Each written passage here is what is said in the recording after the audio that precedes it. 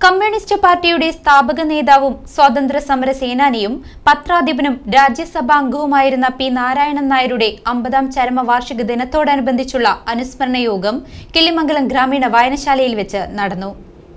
Communist പാർട്ടിയുടെ സ്ഥാപക നേതാവും സ്വാതന്ത്ര്യ സമര സേനാനിയും പത്രപ്രവർത്തകനും രാജ്യസഭാ അംഗവുമായിരുന്ന പി നാരായണൻ നായരുടെ അൻപതാം ചരമദിനത്തോടനുബന്ധിച്ചുള്ള അനുസ്മരണ സമ്മേളനം കിളിമംഗലം ഗ്രാമീണ വായനശാല ഹാളിൽ വെച്ചാണ് സംഘടിപ്പിച്ചത്.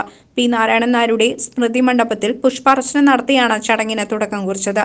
ഇൻകുലാബ് സിന്ദാബാദ്! ഇൻകുലാബ് സിന്ദാബാദ്! ഇൻകുലാബ് സിന്ദാബാദ്! ഇൻകുലാബ് സിന്ദാബാദ്! സിപിഐ സിന്ദാബാദ്! സിപിഐ സിന്ദാബാദ്!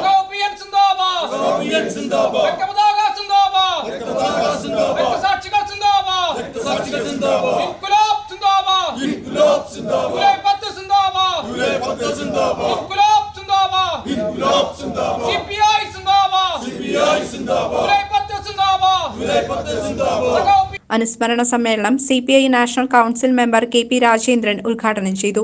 ആ മലബാർ കേന്ദ്രീകരിച്ച് പ്രവർത്തിക്കുമ്പോൾ കിഷപ്പിള്ളയും എം എസും മലബാറിലെ കമ്മ്യൂണിസ്റ്റ് നേതാക്കൾ കെ ദാമോദരൻ ഉൾപ്പെടെ അവരൊക്കെ കമ്മ്യൂണായിട്ട് ഒരുമിച്ച് ഒരു ഒരുമിച്ചൊരു വീട് പോലെ താമസിച്ച് അങ്ങനെ പ്രവർത്തനം നടക്കുന്ന കാലത്ത് ആദ്യമായിട്ട് തൊഴിലാളികളെ മലബാറിൽ സംഘടിപ്പിച്ച ഒരു മൂന്ന് നാല് യൂണിയനുണ്ട് മലബാറിൽ. ഇത് തിരുവിതാംകൂറാണ്. തൃശ്ശൂർ നമ്മുടെ സ്ഥലങ്ങൾ എന്ന് പറയുമ്പോൾ കൊച്ചി. ഇത് മലബാർ. കോഴിക്കോട് കണ്ണൂർ കാസർഗോഡ് പൊന്നാനി അങ്ങനെയൊക്കെയുള്ള മേഖലകൾ കേന്ദ്രീകരിച്ച് ഏറനാടൊക്കെ കുറേ യൂണിയനുകൾ പിന്നീട് വളർന്നു വരുന്നുണ്ട്. അതിൽ ആദ്യത്തെ രണ്ട് യൂണിയൻ രൂപീകരിച്ചത് പി എന്റെ നേതൃത്വത്തിലാണ്. അപ്പോൾ അദ്ദേഹം ആദ്യകാല ശ്രീകുമാറിന്റെയൊക്കെ ശ്രദ്ധയിൽ അത് പെട്ടുണ്ടോയെന്ന് അറിയില്ല. ആദ്യകാല തൊഴിലാളി നേതാവാണ്. എന്റെ അതായത് അടുത്തടുത്ത വർഷങ്ങളിൽ. അപ്പോൾ ഇതൊക്കെ ഒരു ചരിത്രമല്ലേ? ആ തൃശ്ശൂർ പട്ടണത്തിൽ ഈ തൊഴിലാളികളെ സംഘടിപ്പിക്കാൻ അവരെ രാഷ്ട്രീയമായി അവർക്ക് പഠിപ്പിക്കാൻ അവരെ പറഞ്ഞു കൊടുക്കാൻ അതിൽ പി എനുണ്ട് അത് ഞാൻ പറഞ്ഞു ഏത് കേരളത്തിലെ ആദ്യകാല കമ്മ്യൂണിസ്റ്റ് പാർട്ടിയുടെ തൊഴിലാളി വർഗ പ്രവർത്തനത്തിന്റെ സമരത്തിന്റെ ത്യാഗത്തിന്റെ ഏത് അധ്യായങ്ങളിലേക്ക് കടന്നാൽ അവിടെ ആദ്യത്തെ പേരുകാരാണ് ഇവരെല്ലാം. സഖാവ് പി കൃഷ്ണപിള്ളയും സഖാവ് പി എനും പി എസ് നമ്പൂതിരിയും കെ കെ വാരിയറും ഇതുപോലുള്ള നേതാക്കന്മാർ. ആയിരത്തി തൊള്ളായിരത്തി അമ്പത്തി ആറ് മുതൽ അറുപത്തിരണ്ട് വരെ രാജ്യസഭാ അംഗമായിരുന്നു P Narayanan Nair. Communist party പിളർന്നപ്പോൾ C P ഐയിൽ ഉറച്ചുനിന്നു. സി പി ഐയുടെ കേന്ദ്ര കൺട്രോൾ കമ്മീഷണർ അംഗമായിരുന്നു അദ്ദേഹം. സി പി ഐ ജില്ലാ executive member M R Somanarayanan C P I ജില്ലാ കൗൺസിൽ അംഗം T P Sunil C P I Chelakkara മണ്ഡലം assistant secretary P Sreekumar Chelakkara മണ്ഡലം committee secretary Arun Kaliyath Panjal local committee secretary P Krishnankutty തുടങ്ങിയവർ പങ്കെടുത്ത് സംസാരിച്ചു. C C Vinos Panjal.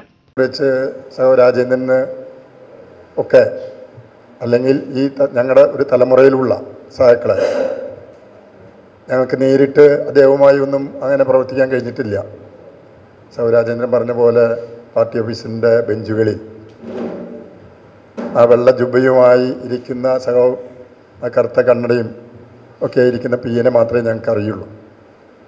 എന്നുവെച്ചാൽ ഞങ്ങളൊക്കെ പ്രവർത്തന വിദ്യാർത്ഥി രംഗത്ത് പ്രവർത്തനം വരുന്ന സമയത്ത് സൗ പി എൻ രോഗാതുരനായി വിശ്രമ ജീവിതത്തിലേക്ക് കടന്നിട്ടുണ്ട്. പാർട്ടി ഓഫീസ് തന്നെയാണ് അവരുടെ അന്നത്തെ വിശ്രമ കേന്ദ്രം. സവ പി എൻ സവ പി എസ് നമ്പൂതിരി സവ ടി എൻ നമ്പൂതിരി ഉൾപ്പെടെയുള്ള പഴയകാല നമ്മുടെ പാർട്ടി സവ കെ കെ കെ വാരി ഉൾപ്പെടെയുള്ള പഴയകാല നേതാക്കൾ. ഞാൻ കിള്ളിമംഗലത്തേക്ക് ആദ്യം വരുന്നത് തന്നെ സവ പി എൻ മരിച്ചിട്ട് പി എന്റെ ഭൗതിക ശരീരം കാണാനാണ് ആദ്യമായി വരുന്നത്. ഞാനന്ന് എസ് എഫിന്റെ ജില്ലാ രാജേന്ദ്രനൊക്കെ ഞങ്ങളൊക്കെ ഭാരവാഹികൾ സഹഭാരവാഹികളൊക്കെ പ്രവർത്തിക്കുന്നു. കമ്മ്യൂണിസ്റ്റ് പാർട്ടി പ്രവർത്തകനാകുന്നതിന് മുമ്പ് നമുക്കറിയാം അദ്ദേഹത്തിന്റെ വിദ്യാഭ്യാസം പൂർത്തീകരിച്ചതിന് ശേഷം ആദ്യം തോന്നൂർക്കര സ്കൂളിൽ അധ്യാപകനായിട്ട് ജോലിയിൽ പ്രവേശിക്കുകയാണ് ചെയ്തത്. വളരെ കുറച്ചു കാലം മാത്രമാണ് ആ തൊഴിൽ അദ്ദേഹം ഏർപ്പെട്ടിട്ടുള്ളൂ. ഒരു സുപ്രഭാതത്തിൽ നമ്മുടെ രാജ്യത്ത് സ്വാതന്ത്ര്യ സമര പ്രസ്ഥാനം വളരെ കുടുംബിരി കൊണ്ട ആ കാലഘട്ടത്തിൽ മാതൃഭൂമിയുടെ അതുപോലെ തന്നെ മറ്റു പത്രങ്ങളുടെയൊക്കെ സ്വാധീനം അദ്ദേഹത്തിൽ ഉണ്ടാകുകയും അദ്ദേഹം മദ്രാസിലേക്ക് വണ്ടി കയറുകയും ചെയ്യുകയുണ്ടായി പിന്നെ കുറേ കാലങ്ങൾ അവിടെ ജസ്റ്റിസ് എന്ന ഒരു ഇംഗ്ലീഷ് പത്രത്തിന്റെ പത്രാധിപ സമിതിയിൽ അംഗമായി പ്രവർത്തിക്കുകയും അതിനുശേഷം കേരളത്തിൽ കമ്മ്യൂണിസ്റ്റ് പാർട്ടിയുടെ രൂപീകരണ ഘട്ടത്തിൽ കേരളത്തിലേക്ക് വരികയും ചെയ്തു. ഇവിടെ വന്നതിന് ശേഷം മാതൃഭൂമിയുടെ പ്രത്യേകിച്ചും മാതൃഭൂമി ആഴ്ച പതിപ്പിന്റെ എഡിറ്ററായി ദീർഘകാലം അദ്ദേഹം സേവനമനുഷ്ഠിച്ചിട്ടുണ്ട്. ദേശാഭിമാനി പത്രത്തിന്റെയും പത്രാധിപ സമിതി അംഗമായിട്ട് അദ്ദേഹം പ്രവർത്തിച്ചിട്ടുണ്ട്. അതിനുശേഷം കോൺഗ്രസ്സുകാരൻ എന്ന നിലയ്ക്ക് അദ്ദേഹത്തിന്റെ രാഷ്ട്രീയ പ്രവർത്തനം ആരംഭിച്ച് അദ്ദേഹത്തിന്റെ അരനൂറ്റാണ്ടിലൂടെ എന്ന ആത്മകഥ പുസ്തകം വായിച്ചാൽ അറിയാം. അദ്ദേഹം കോൺഗ്രസ്സുകാരനായി അദ്ദേഹത്തിന്റെ പൊതുപ്രവർത്തനം ആരംഭിച്ച് സി പി ഐ കേന്ദ്ര കൺട്രോൾ കമ്മീഷൻ അംഗവുമായിരുന്ന സഖാവ് പി നാരായണൻ നായർ അദ്ദേഹത്തിന്റെ ചരമവാർഷിക ദിനമാണ് ജൂലൈ പത്ത്.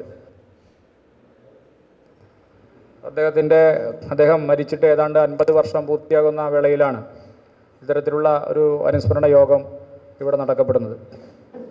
അദ്ദേഹത്തിന്റെ കമ്മ്യൂണിസ്റ്റ് പ്രസ്ഥാനത്തിന് തന്നെ ദീർഘകാലം മറ്റ് പല കേന്ദ്രീകൃതമായ പ്രവർത്തന കേന്ദ്രങ്ങളും പ്രവർത്തിച്ച സഖാവ്. കമ്മ്യൂണിസ്റ്റ് പ്രസ്ഥാനത്തിന് മാത്രമല്ല നമ്മുടെ തലമുറയ്ക്ക് തന്നെ വഴികാട്ടിയായിരുന്ന ഒരു സഖാവാണ്. ദീർഘകാലം പത്രാധിപരും മാധ്യമ രംഗത്ത് ദീർഘകാലം പ്രവർത്തിച്ച സഖാവ് കൂടിയാണ് സഖാവ് പി നാരായണ നായർ. അദ്ദേഹം തിരുകൊച്ചി സഭയിൽ നിന്ന് രാജ്യസഭാ അംഗമായി പ്രവർത്തിക്കുന്ന സാഹചര്യം നമ്മുടെ രാജ്യത്തിനകത്ത് ഉണ്ടായിട്ടുണ്ട്. ദീർഘകാലമായ പ്രവർത്തനങ്ങൾ അദ്ദേഹത്തിന്റെ ഭാഗത്തുണ്ട്. അദ്ദേഹത്തിന്റെ അൻപതാം ചരമവാർഷിക ദിനമാണെന്ന് സി പി ഐയുടെ നേതൃത്വത്തിൽ ആചരിക്കപ്പെടുകയാണ്.